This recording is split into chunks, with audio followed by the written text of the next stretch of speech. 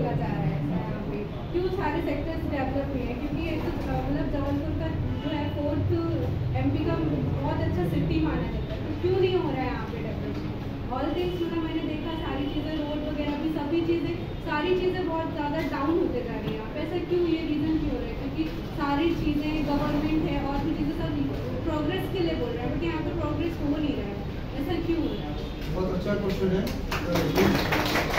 होता क्या है? कि जो राजनीतिक इच्छा शक्ति सुनते हो, आपने नाम सुना, राजनीतिक इच्छा शक्ति है ना? अपने जबलपुर के अंदर राजनीतिक इच्छा शक्ति है ही नहीं। आज जबलपुर में मान लो एमपी की सरकार है, ठीक है, भाजपा की। आठ विधायक हैं टोटल जबलपुर ज़िले में, लोकसभा में देखें तो आठ में से एक ही मंत्री नहीं दे पाए। अगर मान के चलो एक या दो मिनिस्टर होते तो कुछ डेवलपमेंट होता, ठीक है?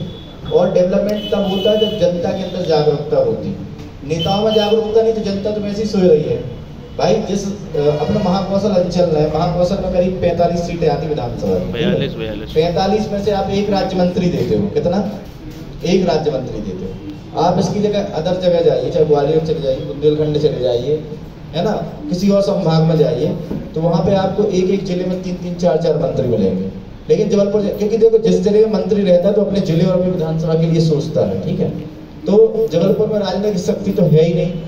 आज जबलपुर में टोटल ओनली विखंडन है। मतलब जो बड़ी फैक्ट्रियाँ हैं, उनको ही विखंडित कर रहे हैं। चाहे टेलीकॉम फैक्ट्री हो, जबलपुर से चली गई, है ना व्हीकल फैक्ट्री उनके सब विखंडन के लिए काम चल रहा है। हाई कोर्ट है उसको भी विखंडित कर रहे हैं। कहीं एक बेंच इंदौर ले जा रहे हैं तो कहीं ग्वालियर ले जा रहे हैं, है ना। मेडिकल कॉलेज है मेडिकल विश्वविद्यालय एम पी एस यू आया जबलपुर में। तो एम पी एस यू आने के बाद उसको विखंडित करके उसकी ब्रांच को कहीं भोपाल ले जाने की कोशिश कर रहे हैं, कहीं इंदौर ले जाने की कोशिश कर रहे हैं। इसका सबसे बड़ा मेन कारण है कि हमारे नेताओं में जागरूकता ना होना और अपनी आवाज़ को सही तरीके से ना उठा के अपने मतलब टोटल एक चीज़ ये मान के चले कि इच्छा शक्ति राजनीतिक शक्ति है ही नहीं, इस कारण से डेवलपमेंट नहीं हो रहा बस।